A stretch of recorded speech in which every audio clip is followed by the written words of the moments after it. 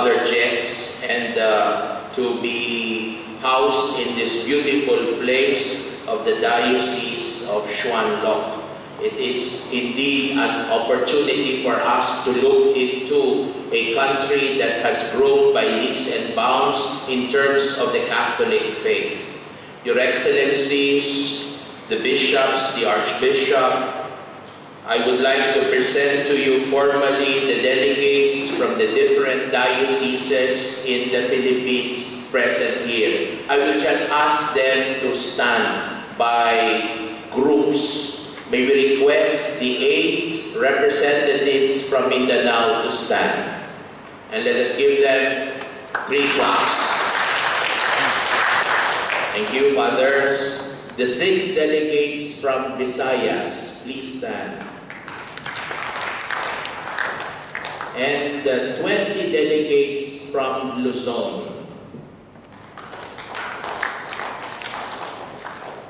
Thank you, fathers.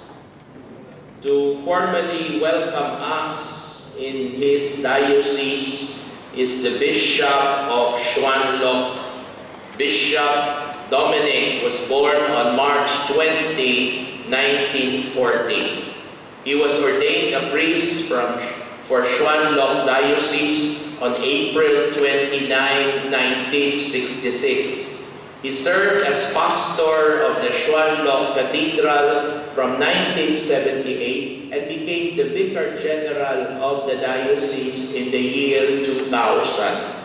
He was named the Bishop of Xuanlok on September 30, 2004, and his episcopal ordination took place on the 11th of November of that year. Bishop Dominic held the Episcopal Commission for Charitable and Social Action of the Catholic Bishops' Conference of Vietnam from 2006 to 2012. And he is the mastermind of this great, great compound here in his diocese. A visionary, I spent a number of meals with him and he shared so many things about his diocese. We are so blessed, Bishop, to be here because your diocese is celebrating its golden anniversary as a diocese. To welcome us formally is Bishop Dominic of the Diocese of Xuanlok and simultaneously will be translated by Father Dominic. Let us welcome the bishop.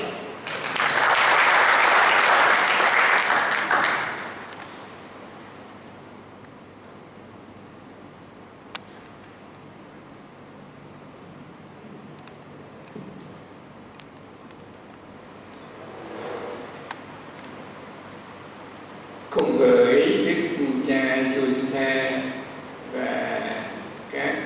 hữu trong giáo phận sơ độc xin được kính chào đức tổng đức uh, quý đức cha quý cha và ờ, uh, tất cả đoàn đang hiện diện uh, ở nhà hội của giáo phận sơ Lộc đây. along with uh, auxiliary bishop, Bishop Joseph, with uh, priests of the Diocese of Suolok. We welcome Your Excellency Archbishop, Bishop, and all priests, sister, and member of this conference who present here in this meeting hall.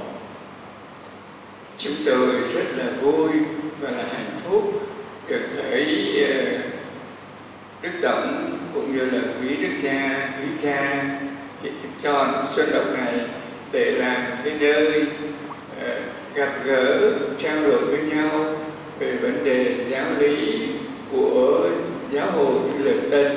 Đó là một cái điều chúng tôi rất là vui. We are very glad and happy to have you, uh, Archbishop, Bishop, and priest, and all conference uh, of the 8th Summer Catechismal Institute for Priests for the Church in Philippines. We're very glad to have you here.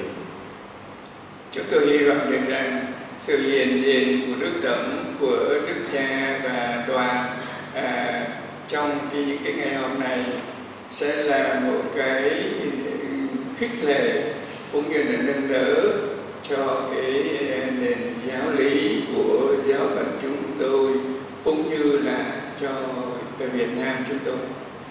We hope that your presence here and this conference will be an encouragement and a supportive uh, issue for our diocese in terms of the catechism and generally in Vietnam. Bởi vì chúng tôi biết được rằng giáo hội khi lập tên đó là một giáo hội rất lâu đời và có một số giáo dân uh, rất là đông coi như là đông nhất của uh, Á Châu tính tỷ lệ và vì vậy cho nên chúng tôi tin được rằng quý vị đã có một cái nền giáo lý uh, vững chãi và chắc chắn để có thể uh, chia sẻ với những cái nước còn ít giáo dân đồng thời cũng chưa có được sự phát triển mạnh về đức tin. We knew that the church in Philippines was is exist for a long time, long long ago. So we believe that you have a very strong uh, catechism system or education of catechism.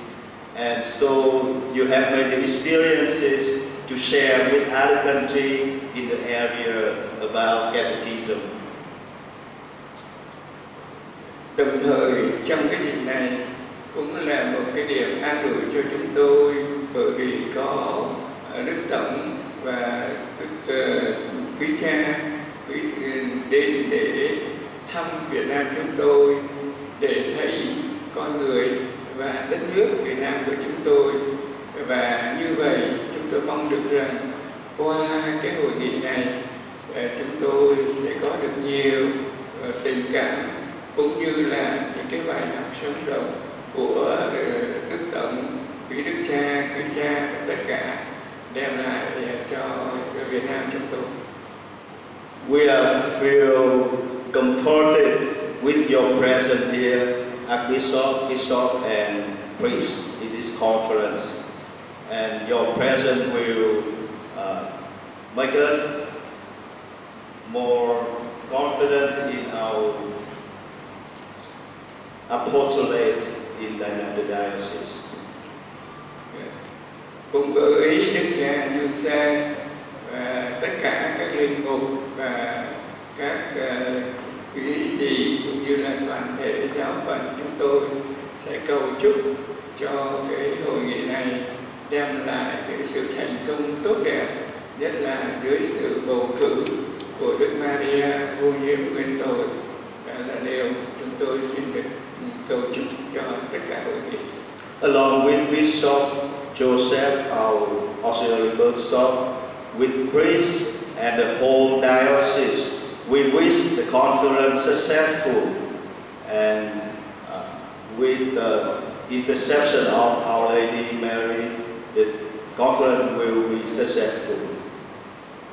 Chúng tôi xin cầu chúc cho Đức Tổng, quý Đức Cha, quý linh mục, quý tu sĩ uh, và tất cả hội nghị được à, một niềm vui và hạnh phúc trong những ngày đến à, hội nghị ở Xuân Lộc và thăm viếng đất nước của chúng tôi. Xin thân ái kính chào. We wish you, Archbishop, Bishop, priest, and the whole conference health, happiness, and joyousness when you stay here in our diocese and in Vietnam. We greeting you account okay, they all.